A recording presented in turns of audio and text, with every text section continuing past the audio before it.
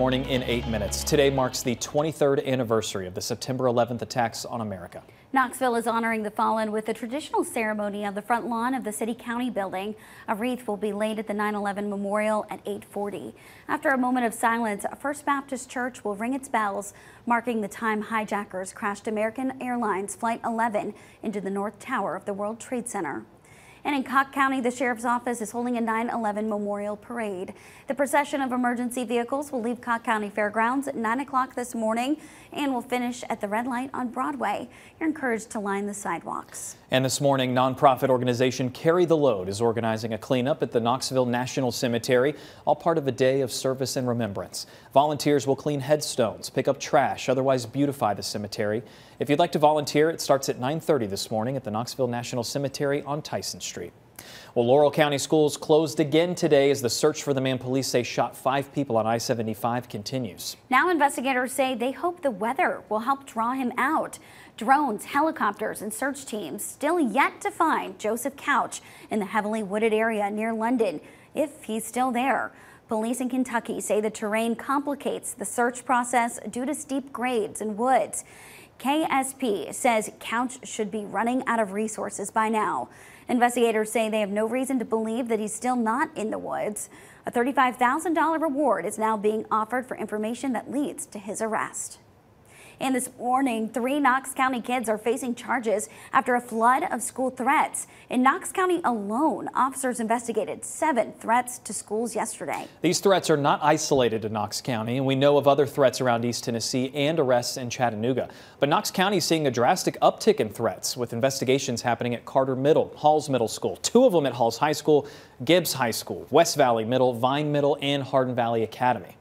Three students have been arrested as a result of those investigations. So here's what we know. The first is an eighth grader from Carter Middle School who investigators say threatened to shoot up the school. The second is a seventh grader from West Valley Middle who made a threat online. And an 11 year old from Vine Middle School, KPD says, who made a threat of mass violence is now under arrest. The Knox County Sheriff's Office tells us they are investigating these incidents. As for the school district, the message from the superintendent of Knox County Schools for parents, he says don't panic because of threats and keep track of your kids. Let them know if they make a joke, even as even make a threat, even as a joke, they will be caught and they will be punished.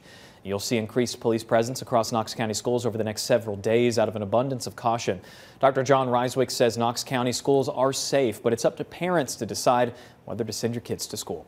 Former President Donald Trump and Vice President Kamala Harris hit the stage in their first and possibly only presidential debate. They sparred on a range of topics, including abortion, inflation, fracking, and border security. Trump slammed the Biden-Harris administration for failing to deliver on student loan forgiveness. Harris went after Trump over his criminal conviction and other pending cases.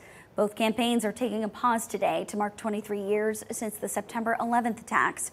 They're back in swing states tomorrow. Harris is heading to North Carolina. Trump will be in Arizona. And the Department of Agriculture is being sued. The Tennessee Growers Coalition, a hemp group, is saying the state's current emergency rules aren't fair for local hemp stores. Last year, state lawmakers set out to regulate the hemp industry in Tennessee.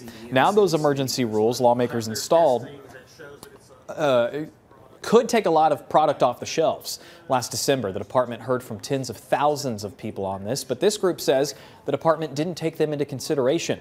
The first court date for this is scheduled for September 19th. And the Tennessee Valley Fair is open at Chilhowee Park in East Knoxville. Yeah, you're going to find rides, exhibits, fair food, all the good stuff is on display this week. The fair also showcases East Tennessee's agriculture and arts. A concert series features acts like Treaty Oak Revival and Ludacris. The fair runs through Sunday. We've got a fair guide for all the information for you right now inside your WVLT News app. It is 654. Let's send things over to Olivia Calfee with your first alert traffic. Yeah, keeping an eye on your first alert traffic this morning. First, taking a look at some of those hotspot cameras. Here's a live look. I-40 at Hall of Fame Drive. As you can see, several car lights out there on the road, but it looks like everyone is up to speed on their morning commute right now. Here's another live look. I-75 at Merchant Drive. It does look like a few people are starting to hit the brakes in those southbound lanes near uh, on I-75 at Merchant Drive this morning. One more look. I-640 at Western Avenue in the clear right now. That's good to see if you were headed out the door in that direction this morning. Five minutes to seven in your first alert weather. If you are not looking at your screen, you're going to want to. Look at this gorgeous view. A few wispy high clouds really just add to a colorful sunrise that captures that light that's peeking up over the Smokies right now. So we've definitely got some beautiful views over the next 15, 20 minutes as a lot of you are seeing that sunrise across our area. Temperatures across the area vary because of these few high clouds. Again, the outermost bands from Hurricane Francine. It's 59 currently Knoxville to Maryville, 57 Sevierville, but then 52 Jamestown and Tazewell, even 50 Middlesboro. These clouds coming up from the south, the humidity gradually increasing today. So we're going from just below average this morning at 59 degrees at 8 to 78 at noon, mostly sunny to partly cloudy, 86 year high, actually right around normal on this Wednesday. But hopefully you're still smiling because we do have pleasant humidity levels. That'll be the next element of change too.